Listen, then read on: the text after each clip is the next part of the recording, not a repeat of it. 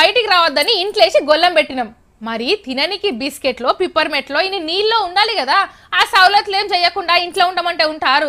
ఎట్లనో ఒకట్లా బయట పడాలని గోడలు దుంకి బయటకు వస్తారు మరి ఇంట్లో తప్ప ఎవరిది ఇట్లా చెప్పుడు కరెక్టో కాదో నాకు తెలియదు కానీ గీళ్ళ ముచ్చట కూడా గట్లనే ఉండదు మళ్ళీ.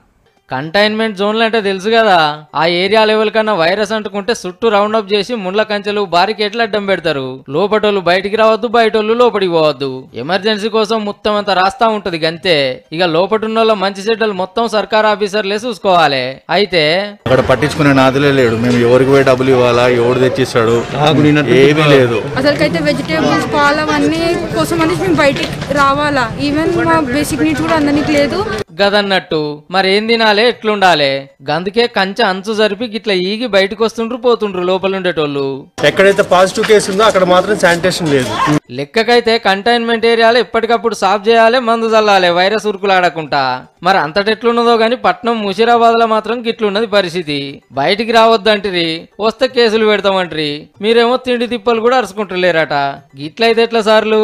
ఆయనతో అందరు ఇట్లనే బయటకు వస్తే బయట ఉన్న వాళ్ళకు డేంజర్ అవుతుంది మళ్ళా.